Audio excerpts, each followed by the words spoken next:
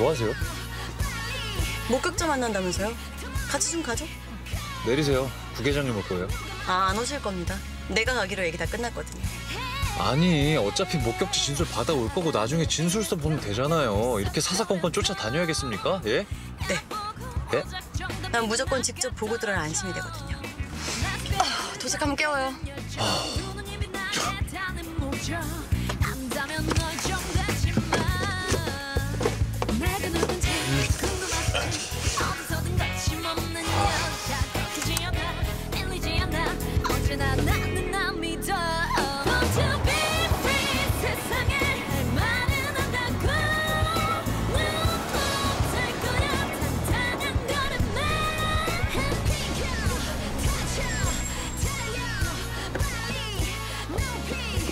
여기에요?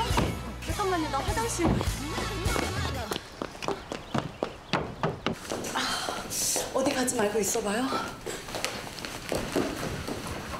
안녕하세요. 최경자 씨 찾아왔는데요. 아, 최 간호사님이요? 간호사님, 여기 손님이요.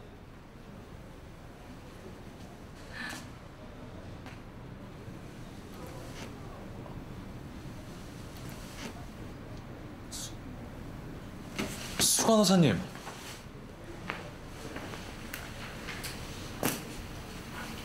어, 세상에 이게 누구? 너 진욱이 맞지? 네. 아니 여기서 일하셨어요? 이게 얼마만이니? 너 고3 때 이후로는 처음이지? 맞아요. 아 왜 그때 갑자기 그렇게 간두셨어요? 아무 말도 없이. 얼마나 서운했다고요. 그랬어? 어, 저기 그때 동생이 많이 아팠거든. 돌봐줄 사람은 나밖에 없고 그래서 갑자기 그만둘 수밖에 없었어. 어, 저기 원장님은 잘 지내시지? 네. 근데 여긴 무슨 일로? 여감. 죽는 줄. 아 소개시켜 드릴게요. 저 이쪽은 마이든 검사. 아 마이든 변호사님이시고요. 이쪽은 제가 예전부터 알고 지내던 수 간호사님이세요.